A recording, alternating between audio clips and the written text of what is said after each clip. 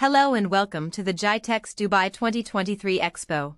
And in front of the On Passives booth, this is our daily report on the most important and prominent events that happened that day. The exhibition audience was impressed by On Passives' distinguished presence at the GITEX exhibition for the second day in a row, and they flocked to the company's booth to learn more about their artificial intelligence products.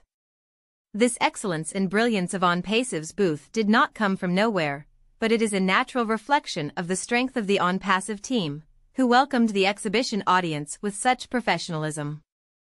The team was led by engineer Mohammed Kamal, the On Passive's chief operation officer, and Professor Susan El-Kalani, the executive director of Omedia, and the media and academic consultant for On Passive, along with a selection of the company's leaders and senior employees.